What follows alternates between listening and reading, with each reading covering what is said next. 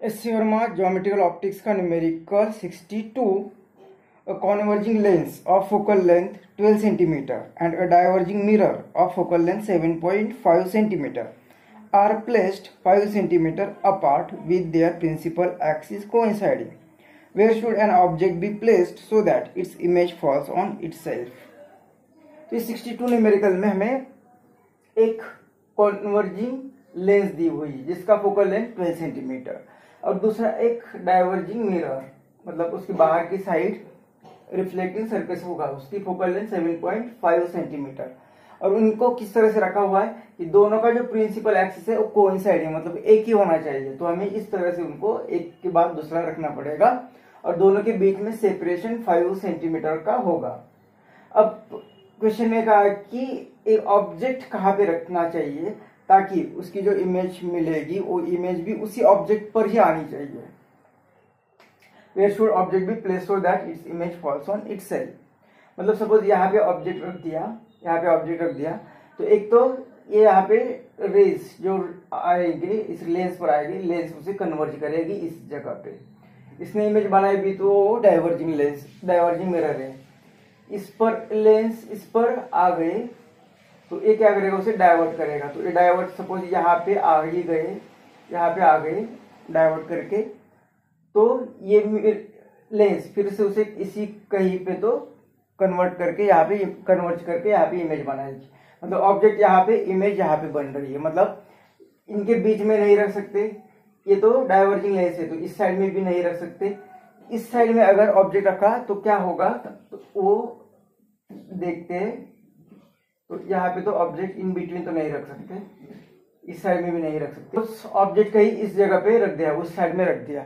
तो उसके रेज कोई भी दो रेज अगर हम लेते यहाँ पे से, इस तरह से ये रेज लेते तो ये रे को ये लेंस कन्वर्ट करेगी और वो रेज सपोज़ इस तरह से कहाँ पे, यहीं पे आ रहे कन्वर्ट करके ए ऑब्जेक्ट यहाँ पे सपोज़ ये यहाँ पे इंसिडेंट हो गए लेंस लेंस ने उसे कन्वर्ट किया। ये नहीं होता तो एक कन्वर्ट होके कहीं पे तो इमेज बन जाती। लेकिन ये क्या करेगा, उसे डाइवर्ट करेगा। उसने अगर इस रेज को वापस भेज दिया, अगर उसने वापस भेज दिया तो ये रेज वापस यहाँ पे आएगी और ये लेंस फिर से कन्वर्ट करेगी और ये ऑब्जेक्ट पर इमेज मिलेगी। मतलब इस ऑब्जेक्ट की इमेज उसी ऑब्जेक्ट पर मिलने के लिए कंडीशन ये होनी चाहिए कि इस मिरर ने डाइवर्जिंग मिरर ने उस रेज पर, उस पर जो रेज इंसिडेंट हो रहे हैं, उस रेज को वो वापस उसने भेजना चाहिए। ये जो रेज इंसिडेंट हो रहे, उसे वापस भेजना चाहिए। तो ये कब पॉसिबल है? तो किसी भी कर्व पर जब लाइट इंसिडेंट होती है तो अगर वो कन्वर्जिंग हो या डाइवर्जिंग अगर वो परपेंडिकुलर टू उसके सरफेस है परपेंडिकुलर टू उसके सरफेस है तो वो रिट्रेस बैक होती है। मतलब ये जो रे इंसिडेंट हो रहा है, इस सरफेस को अगर वो परपेंडिकुलर है तो वो रिट्रेस बैक होगा। इस रे को इसे परपेंडिकुलर होना चाहिए। परपेंडिकुलर मतलब क्या? ऐसा कौन सा रे होता है परपेंडिकुलर तो इस कर्व का रे जो सरफेस पर परपेंडिकुलर होता है, वो रेडियस से निकलता है।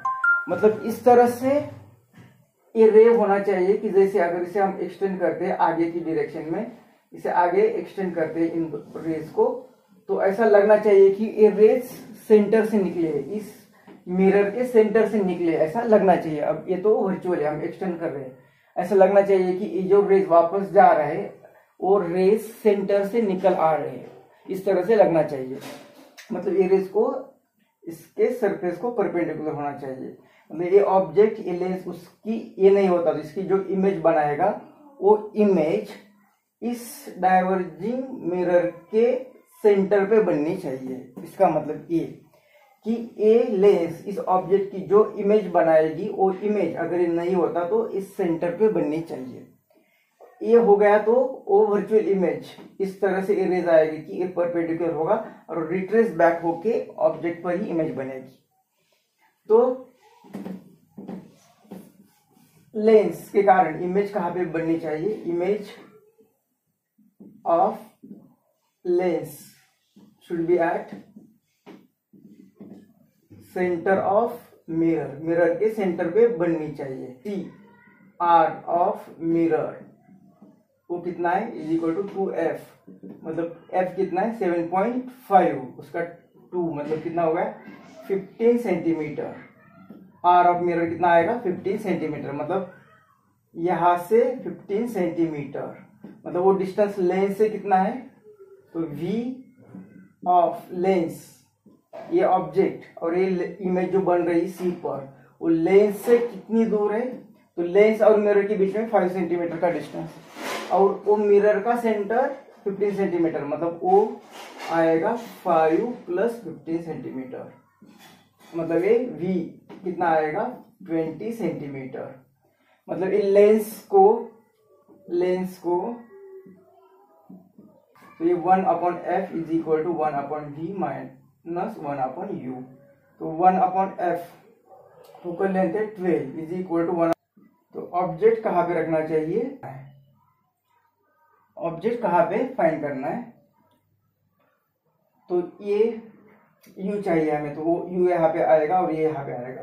तो one upon U is equal to one upon ये ट्वेंटी और ये इधर आएगा वन अपॉन ट्वेल्व तो one upon U is equal to twelve minus twenty upon twenty into twelve inverse करते हैं तो ये ट्वेंटी इंटू ट्वेल्व और इनका सब्ट्रैक्शन आएगा माइनस एट माइनस एट जो कि फोर टू ज़ा, एट फोर फाइव ज़ा और टू सिक्स ज़ा मतलब यू आ गया फाइव सिक्स ज़ा, थर्टी सेंटीमीटर। मतलब यहाँ पे ऑब्जेक्ट रखना चाहिए। यू का मतलब वो लेफ़्ट साइड में है लेंस के